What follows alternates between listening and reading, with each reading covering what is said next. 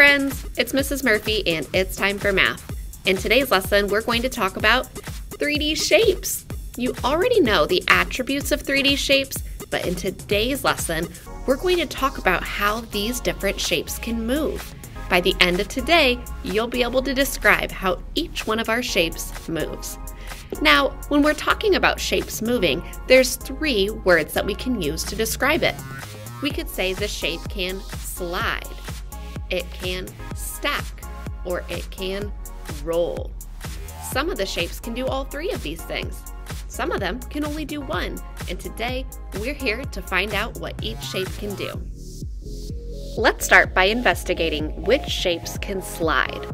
A shape that slides is able to move on its flat surface. Let's test our 3D shapes to see which ones can slide. The cylinder has two flat surfaces. It can slide. The cone has one flat surface. It can slide. Do you think the cube will be able to slide?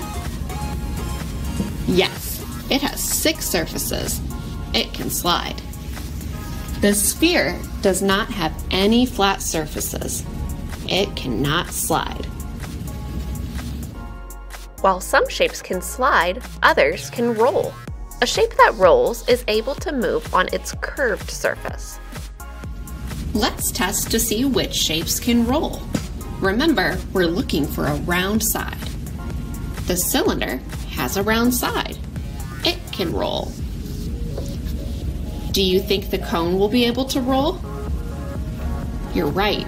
It has a round side. It can roll. What about the cube? Cubes do not have any round sides. They can slide, but they cannot roll. Finally, what about the sphere? How do you know it can roll? You're right, it has round sides. Some shapes slide, some shapes roll, and some shapes stack. A shape that can stack has a flat surface. It can be placed on top of another object and not fall off. Let's test to see which shapes can stack.